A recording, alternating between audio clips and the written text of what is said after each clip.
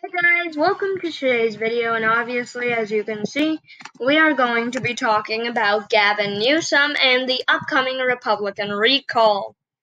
And, well, I don't want to call it a Republican recall, you know, if you're in California, you see these ads all the time, so many ads, and the, these Democrats, they keep saying, stop the Republican recall, stop the Republican recall, stop the Republican recall, stop the Republican recall. No. Anyways.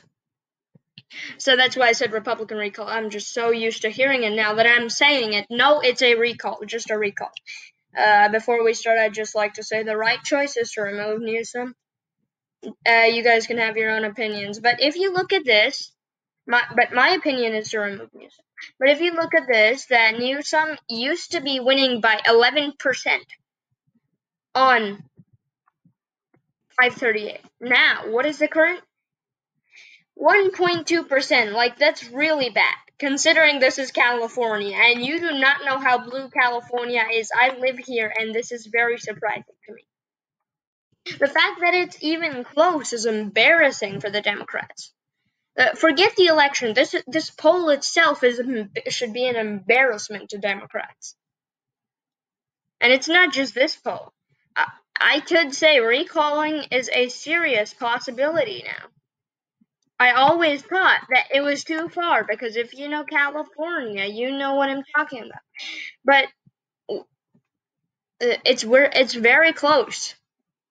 Newsom needs to watch his back. One mistake and he is dead.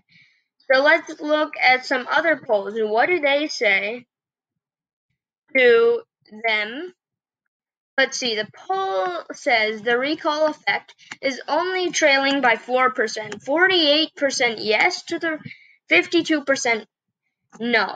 This is a bit outdated, but still 4% is still really good. CBS finds Republicans voters care a lot more about the election than Democrats do. That is true. We are going to see a lot of Republican turnout coming out because of this.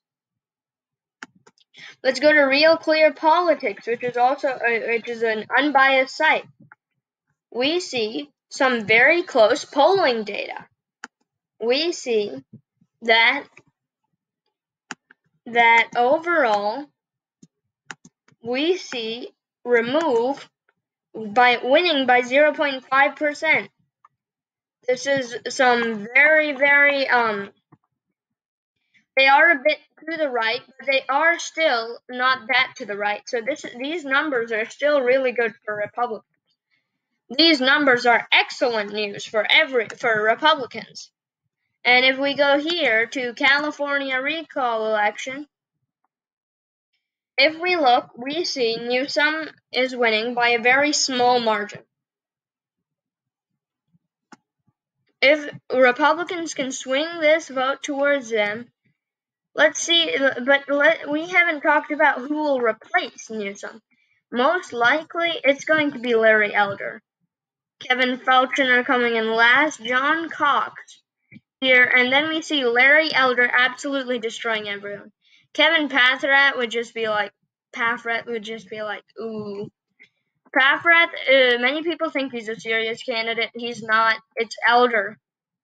I don't think Paffrath is doing good, but he's not going to be the next governor. It's Newsom or or what is it? What is it? Uh, Newsom or Elder. Sorry, don't know. It, it just slipped my mind for a while. Caitlyn Jenner. No, these guys aren't. Like seriously. Let's go to recall win percentage. Keep Newsom. We are seeing some recall polling. We're seeing some very close polling here, replace polling. We're seeing Larry Elder absolutely dominating. We're seeing Kevin Paffrath come up. We're seeing Latinos voting to recall. This is excellent news for Republicans. Also, let's look at 538's polls. For this, let's see.